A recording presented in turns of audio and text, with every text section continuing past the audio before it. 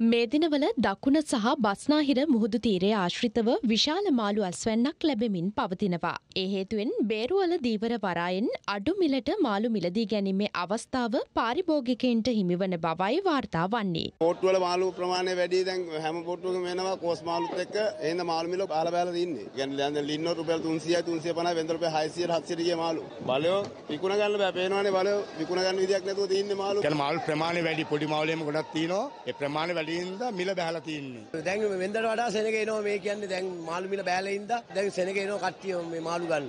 මාළු මිල උපරිම මිල බෑලා තින්නේ. රුපියල් 10ක් ගෙනා නම් කිලෝ 4ක් 5ක් ගෙදර රයතයි. අඩු මිලට මාළු මිලදී ගැනීම සඳහා පාරිභෝගිකයින් පැමිණ තිබුණේ මේ ආකාරයෙන්.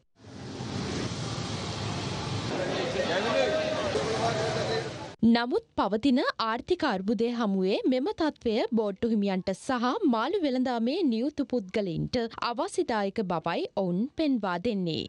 හැබැයි මේ මිල බැහිල්ලෙන් පාරිභෝගිකයට ඉතින් හොඳයි. ඒ වුණාට බෝට් හිමියාට පැත්තෙන් ගොඩක් අවාසි. කියන්නේ මේ ලොකු වියදමක් දරලා මේ බෝට්ටු මුහුදු යන්නේ. එකපාරටම අර මිල ප්‍රමාණය වැඩි වෙලා මිල බැස්සම බෝට්ටු යන එක දරා ගන්න බැහැ මිනිස්සුන් පැත්තෙන්. මෝදි යන මිනිස්සුන්ට සල්ලි තමයි නැත්තේ. තෙල් ටික ගණන් ගියාම මාළු කිලෝ එකේ සල්ලි එන්නේ නැහැ. වැටලා තියෙන්නේ උපරිම.